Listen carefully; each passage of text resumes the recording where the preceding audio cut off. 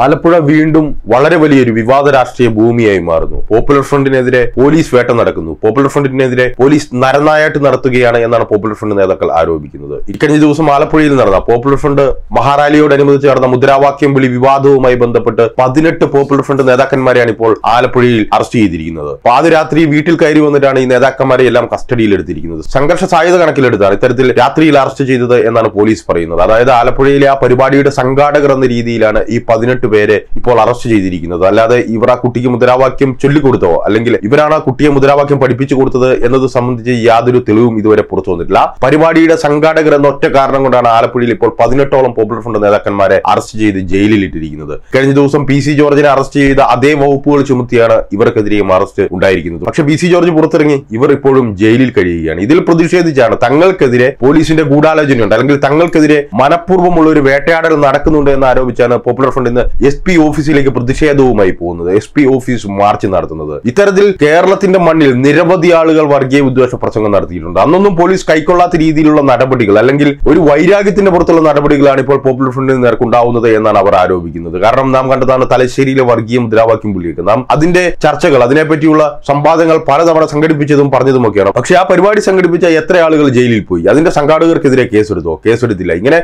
എത്രയെത്രയോ സംഭവങ്ങൾ നടക്കുന്നു. ഇവിടെ കഴിഞ്ഞ ദിവസം നാം കണ്ടു തിരുവനന്തപുരം മഹാസമ്മേളനത്തിൽ നടന്ന വിദ്വേഷ പ്രസംഗം. പി സി ജോർജ് തന്നെ അവിടെയാണ് ഈ വിദ്വേഷ പ്രസംഗം മുമ്പ് ചെയ്തത്. മാത്രമല്ല അവിടെ ദുർഗാദാസ് എന്ന് പറഞ്ഞ പ്രവാസി മലയാളിയും സംഘപരിവാർ നേതാവുമായി ഒരു വ്യക്തി വന്നിട്ട് വിദ്വേഷ പ്രസംഗം വിളമ്പുകയും അദ്ദേഹത്തിന്റെ ജോലി പോവുകയും ചെയ്തിരുന്നു. എന്ത് നടപടി എടുത്തു? ദുർഗാദാസ് ഇപ്പോൾ എവിടെയാണ്? അതായത് ഗൾഫിലെ നേഴ്സുമാരെ വളരെ മ്ലേഷ്ടകരമായ രീതിയിൽ അധിക്ഷേപിച്ച ദുർഗാദാസ് ഇപ്പോൾ എവിടെയാണ്? അദ്ദേഹം പുറത്താണ്. അദ്ദേഹം ഓടി നടക്കുകയാണ്. അദ്ദേഹത്തിന് നാട് നീളെ സ്വീകരണം കൊടുക്കുകയാണ്. അവിടെ പി സി ജോർജ് വിദ്വേഷം വിളമ്പി. ഒരു ദിവസം പി സി ജോർജിനെ പിടിച്ചകത്തിടാൻ മാത്രമേ കഴിഞ്ഞുള്ളൂ. പി സി ജോർജ് ജാമ്യത്തിൽ ഇറങ്ങി ആ പരിപാടിയിൽ എത്രയോ വിദ്വേഷ പ്രസംഗങ്ങൾ നടന്നു. അതിന്റെ സംഘാടകർക്കെതിരെ കേസെടുത്തോ. ഈ പി സി ജോർജിനെ അറസ്റ്റ് ചെയ്തത് തന്നെ ആ പരിപാടിയിൽ പ്രസംഗം നടത്തിയതിനല്ലേ? അതുപോലെ തന്നെ വെണ്ണലയിൽ പ്രസംഗം നടത്തിയതിനല്ലേ? ആ വെണ്ണലയിൽ പരിപാടി സംഘടിപ്പിച്ചവർക്കെതിരെയും അതുപോലെ തന്നെ തിരുവനന്തപുരത്ത് പരിപാടി സംഘടിപ്പിച്ചവർക്കെതിരെയും അറസ്റ്റ് ഉണ്ടായോ? അറസ്റ്റ് ഉണ്ടായില്ല. പിന്നെ എങ്ങനെയാണ് ഈ പോപ്പുലർ ഫ്രണ്ടിന്റെ പരിപാടിയിൽ മാത്രം സംഘാടകർക്കെതിരെ അറസ്റ്റ് ഉണ്ടാവുന്നത്? അല്ലെങ്കിൽ സംഘാടകർക്കെതിരെ നിയമ നടപടി ഉണ്ടാവുന്നത് എന്നാണ് പോപ്പുലർ ഫ്രണ്ടിന്റെ നേതാക്കന്മാർ ചോദിക്കുന്നത്. അത് മാത്രമല്ല എന്തായാലും തങ്ങൾക്കെതിരെ ഇവിടെ നടക്കുന്നത് അനീതിയാണ് എന്നാണ് പോപ്പുലർ ഫ്രണ്ട് ഇപ്പോൾ പറയുന്നത്. കാരണം ഇത്തരത്തിലുള്ള വർഗീയ വിദ്വേഷ പ്രസംഗങ്ങൾ ഈ കേരളത്തിൽ ആദ്യമൊന്നുമല്ല. ഈ കഴിഞ്ഞ ഒരു മാസത്തെ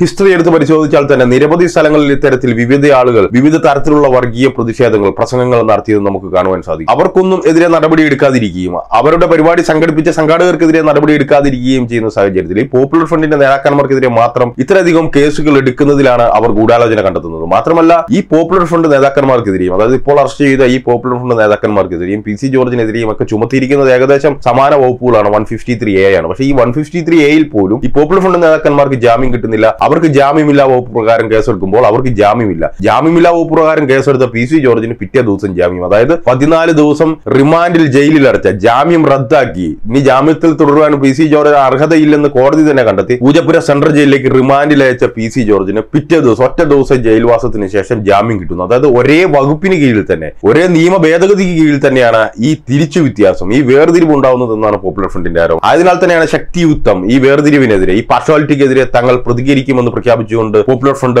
ഇന്ന് എസ് ഓഫീസിലേക്ക് മാർച്ച് സംഘടിപ്പിച്ചിരിക്കുന്നത്.